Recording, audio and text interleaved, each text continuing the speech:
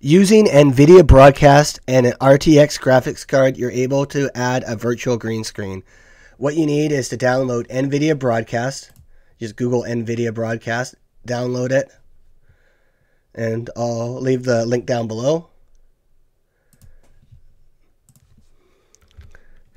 Then you just open NVIDIA Broadcast.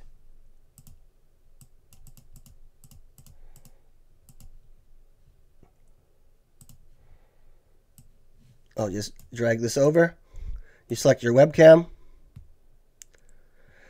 Then as that background here, I just, this is all I select. You just look for background rem removal and it turns it off.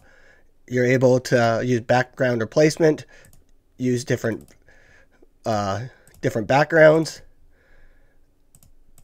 Background removal, just, um, background removal just uh, makes it transparent.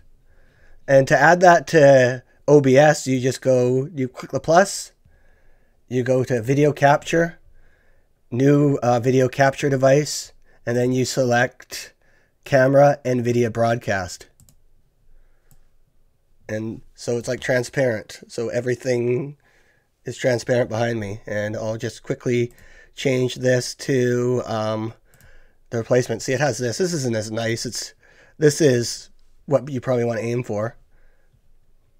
Okay, um, I'll put OBS on the main screen. It's going to look a little bit weird. It's going to repeat itself, but um, just, okay, I'll just take the that out. Okay, this is how you add the source again. Video capture device, create new. Um, let's see, camera, NVIDIA broadcast. Okay, and there you are. That's all there is to it. All right, I hope this was quick and to the point, and thanks for watching.